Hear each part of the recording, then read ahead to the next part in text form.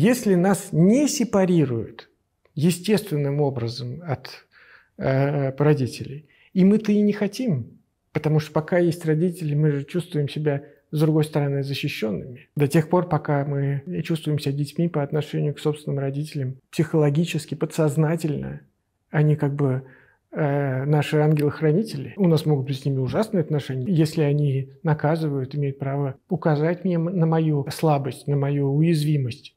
Они же могут быть и моими защитниками. И для многих это сложный переход.